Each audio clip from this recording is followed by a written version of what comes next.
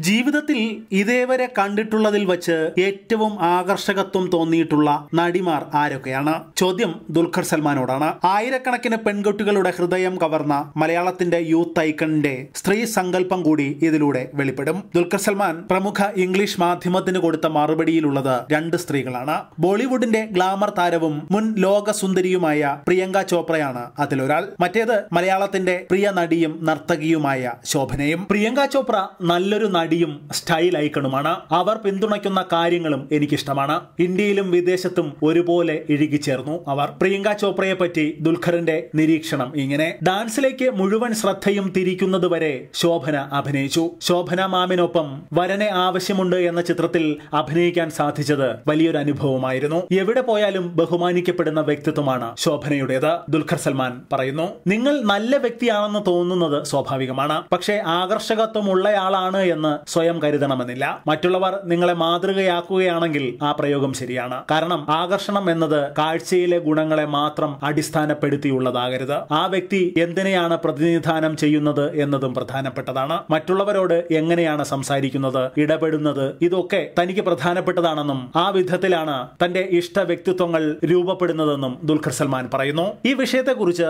നിങ്ങൾക്കും പ്രതികരിക്കാം. നിങ്ങളുടെ കമന്റുകൾ ഈ വീഡിയോയ്ക്ക് താഴെ രേഖപ്പെടുത്തൂ.